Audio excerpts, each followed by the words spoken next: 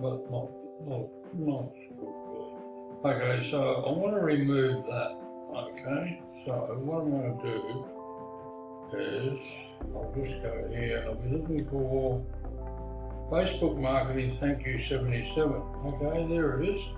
Now up here, I'll just click edit and this is Fetch and Fetch knows I've already told Fetch that I do all my editing in Dreamweaver.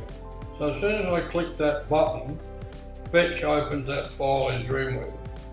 Now, this is what I want to get rid of, but I don't really want that there. So I'll delete that. Okay, and now I'll just press Shift Command Save, um, and I'll hit Enter, and I'll replace that this takes all the guesswork out of it uh, because you know you've got the right file. Right, okay, so now I'll just go there and I'll refresh this page and boom, I got rid of that because I didn't really want it. And this one here, this takes you through to the upsell. Right, the big, the big money, 27 bucks. Buy now,